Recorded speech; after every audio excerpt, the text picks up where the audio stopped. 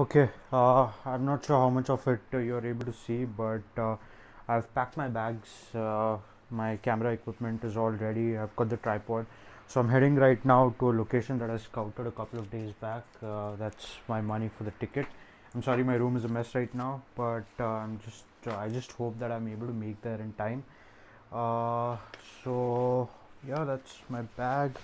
I got the tripod. I just have to put on the shoes and I think uh, hopefully I'm not forgetting anything else. Uh, I've got this uh, keys and yeah I'm gonna take you guys with me. Uh, I am off to a location that I scouted a couple of days back. Hopefully I'd be able to get some really good shots uh, some long, uh, long exposure that I've been thinking of.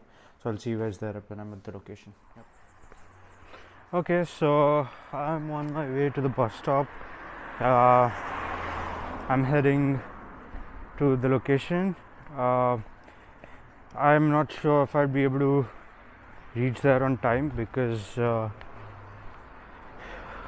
transit here could be a little challenging.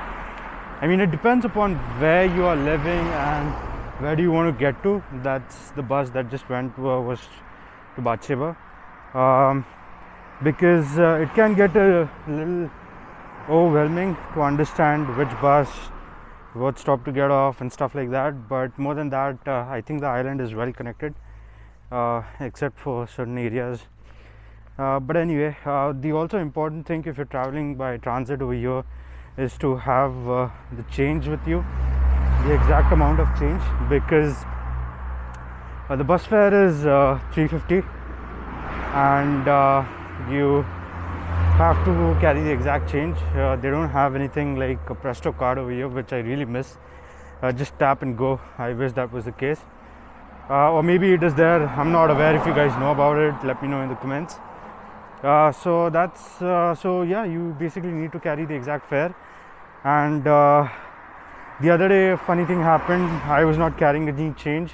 I had a $50 bill with me and I, enter, I got into the bus and I was the driver. Uh, usually in the minibuses there are conductors, but this was the big one, so there was no conductor over there. And um, uh, the di- the the driver when he saw that uh, you know I've got a fifty dollar, he's like, oh god, you know. Uh, he was a little surprised. Uh, so, but then he actually stopped the bus at a fuel station and uh, he asked me to go and get the change. So I was able to break the change and uh, get 350 so again people are kind here. So yeah. But the point is make sure that you're carrying your change.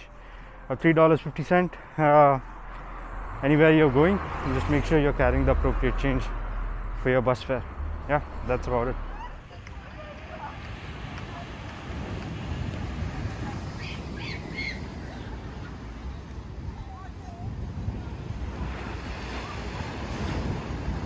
guys i'm back. Um, i got home a couple of uh, i think probably around 20 25 minutes back.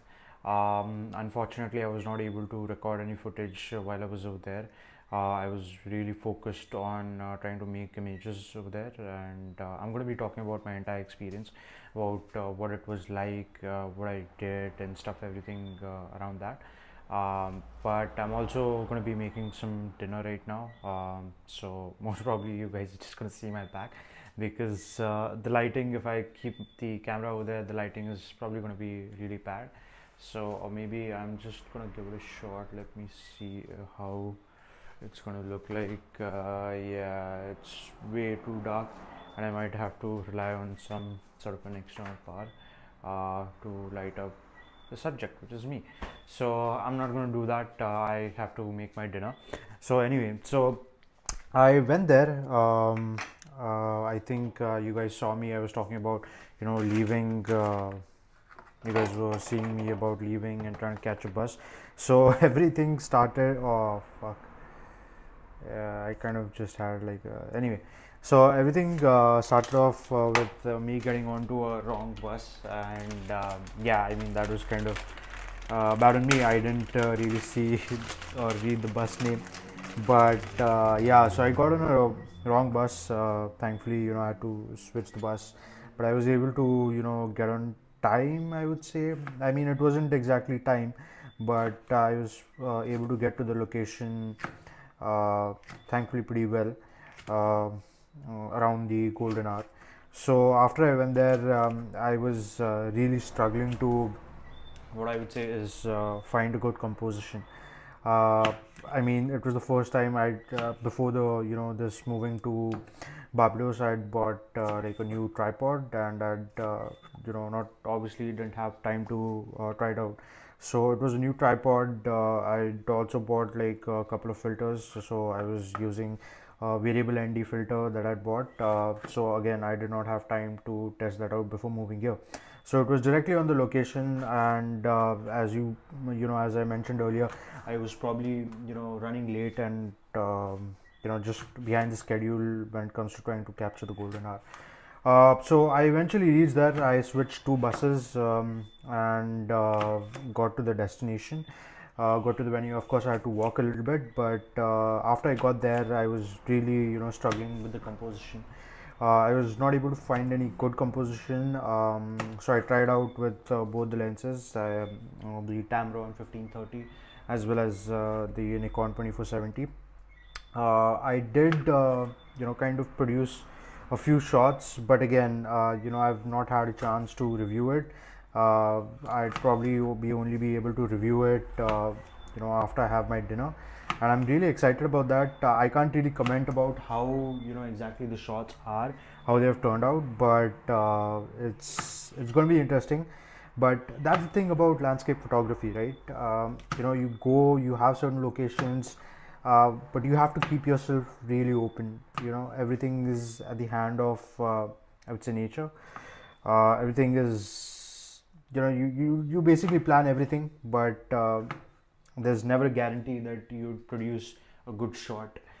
Uh, i did shoot a few long exposures but again i it's not you know exactly what i was looking for. Um, uh, I wouldn't call them, you know, probably like my best shots, but uh, anyway, I'm definitely going to work on them uh, and see how it pans out. Uh, the post processing is going to be fun on those images, uh, and hopefully, you know, I might have a photo that I can be proud of uh, that can go into my portfolio. So let's see how that goes. so I'll see you guys in a uh, probably when I'm uh, you know on my system trying to post produce and just review all those images in depth. So I'll see you guys later.